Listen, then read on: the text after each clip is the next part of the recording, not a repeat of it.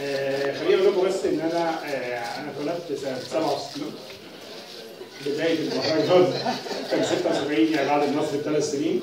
وبمناسبه الثلاث سنين المهرجان وقف ثلاث مرات. بمناسبه المهرجان وقف ثلاث مرات فلو حسبناها بحسبة بسيطة من 67 ل 76 حوالي ست سنين. وثلاث سنين وقف فيه مهرجان تسع سنين. والدورة دي هي الدورة ال 40 يعني حسبه بسيطة كده أنا ممكن أقول لكم كان عندي ساعتها 11 سنة 12 سنة وأنا بتفرج على أول آه، دورة. الحمد لله لما نوصل الدوره ال 40 على رأي الأستاذ كمال عبد العزيز زي ما بيقولوا الدورة المميزة اللي هتكون ليها خاصة كل دورة إن شاء الله هتبقى دورة مميزة ودورة خاصة.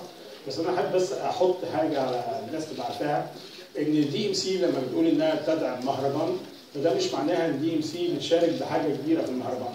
بالعكس ال DMC بتتمحك شوية في المهرجان. ال DMC بتتمحك في مهرجان السينما لأن عارفة كويس قوي أهمية السينما وأهمية الفن السابع لكل الناس اللي في العالم.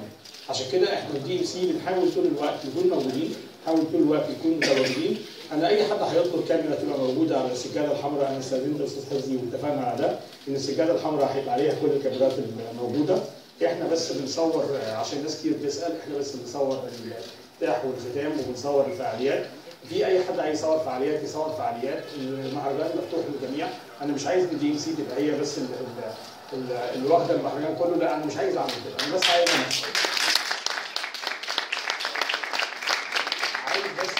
الافتتاح والختام. هم يبقوا خاصين بينا عشان أعمل حاجة مميزة للقناة عندنا، القناة عندنا عشان بقول أنا بشتغل في قناة عايزها تبقى مميزة. أتمنى إن من ضمن مميزات القناة إنها تحاول تحافظ على المهرجانات. ومش هخفيكم سرا إحنا الحمد لله خدنا مهرجان الأقصر كمان. بشكركم وبشكر اللجنه المنظمه شكرا يا جماعه.